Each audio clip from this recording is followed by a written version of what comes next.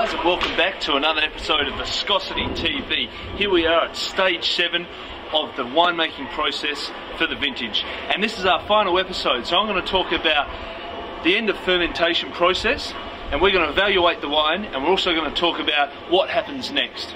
So what have we learned? We've learned, we've gone out the vineyard, we've tasted the grapes, we've decided when to pick, we've got the harvester out there, he's harvested it and brought it into the winery. Came into the winery, went in the receival bin, destemmed it and crushed those grapes, put them in the bag press and ended up with juice in the tank. Then we looked at the cold settling process and we did a bit of lab analysis on that juice. Then we had a look at the racking process and the inoculation of the, of the, of the juice with the yeast. And then we had a look at, with Richie, the fermentation expert, that fermentation process, what we're looking for and how long that lasts.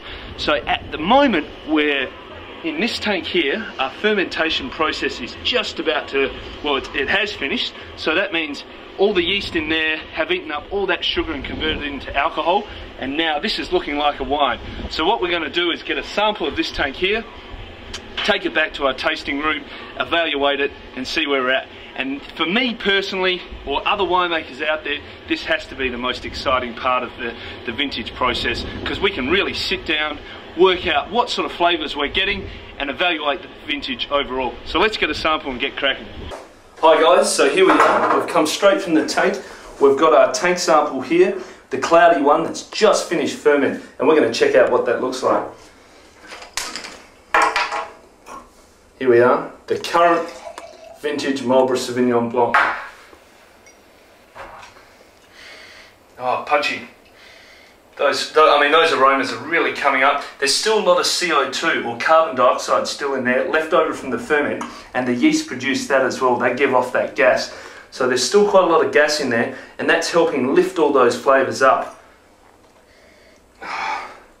Yep, so we've got those greeny characters, the grassy capsicum flavours there, and also that fruit spectrum, tropical and pawpaw notes, which we saw, remember in our first episode, we saw that bunch, we saw the sun, the sunny side of the bunch had those fruitier flavours, and the inside or the shaded side had that greener, greener capsicum notes as well. And you can see that right here in the glass.